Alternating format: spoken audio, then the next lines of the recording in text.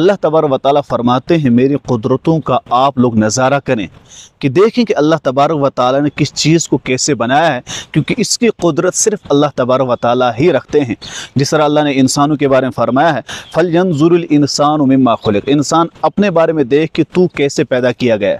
اسی طرح اللہ فرماتے ہیں افلا ینظرون الابل کیف خلقت؟ اونٹ کی طرف دیکھ کہ اللہ تعالیٰ نے اسے کیسے پیدا کیا ہے۔ اور اللہ تبارک و تعالیٰ فرماتے ہیں، الذی خلق سبع سماوات طباقا۔ اللہ نے سات آسمانوں کو بنایا تہ بتے پھر اللہ تبارک و تعالیٰ فرماتے ہیں، فرجع البصر، هل ترى من فطور؟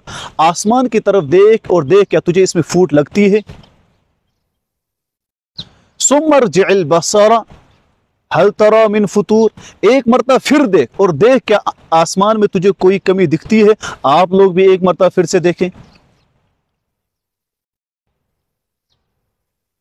اللہ تبار و تعالیٰ فرماتے ینقلب الیک البصر خاسئا و حسیر.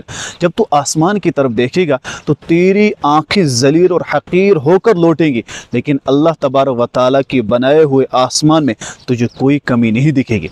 اللہ تبارک و تعالیٰ فرماتے افلا ینظرون الی الارض؟ زمین کی طرف دیکھ، کیا زمین میں تجھے کوئی کمی دکھتی ہے؟ افلا ینظرون الی الشجر؟ آپ درختوں کی طرف دیکھیں کیا درختوں میں اللہ نے کیسے بنائے ہیں؟ کہ اللہ کی قدرت نہیں ہے؟ افلا ینظرون الی الجبال، پہاڑ کی طرف دیکھیں۔ یہ سب اللہ کی قدرتیں ہیں۔ ہم آپ لوگوں کو اس وجہ سے دکھا رہے ہیں کہ آپ لوگوں نے دیکھی ہیں۔ لیکن ہم یہ بتانا چاہتے ہیں کہ یہ اللہ کی قدرت ہی ہے اور اللہ اپنی قدرت کو بیان کرتے ہیں۔ افلا ینظرون الی البحر دریاؤ کی طرف دیکھیں۔ اس کی روانگی اللہ تعالیٰ ہی چلانے والے ہیں۔ یہ صرف اللہ کی قدرت ہی ہے۔ اللہ تعالیٰ ہی اس کو بڑھانے والے ہیں، چلانے والے ہیں، اللہ کی ہی قدرت ہے۔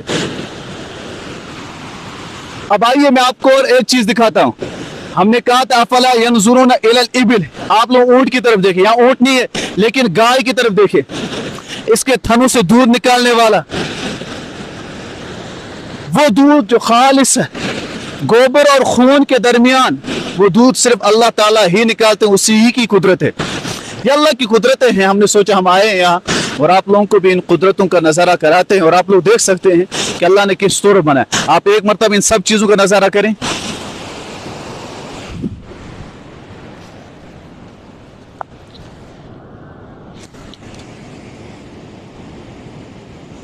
اب آپ لوگ انسان کی طرف دیکھیں۔ انسانوں میں سے میں کھڑا ہوں تو اللہ تبار و تعالیٰ فرماتے فل الانسان مما خلق۔ انسان اپنے آپ کی طرف دیکھے یہ آنکھ اللہ تبار و تعالیٰ بنانے والے، یہ کان اللہ بنانے والے، یہ زبان، یہ ہونٹ، یہ منہ اللہ بنانے یہ سر، یہ باڈی، یہ جسم، یہ ہاتھ، یہ بازو سب۔ یہ قدرت ہے صرف اس اللہ تعالیٰ کی۔ اس کے علاوہ کوئی ہو سکتا ہے اسے بنانے والا؟ اس کے علاوہ کوئی ہو سکتا ہے جس کے اندر یہ قدرت ہو، اس کے علاوہ کوئی ہو سکتا ہے جس کے اندر یہ طاقت ہو، نہیں۔ وہ تنہے تنا خالق ہے، مالک ہے، پروردگار ہے، جو انسان کو بناتا ہے، پیدا کرتا ہے۔ آپ سورج کی تپش کو دیکھ سکتے ہیں، یہ بھی اللہ تعالیٰ نے بنایا ہے۔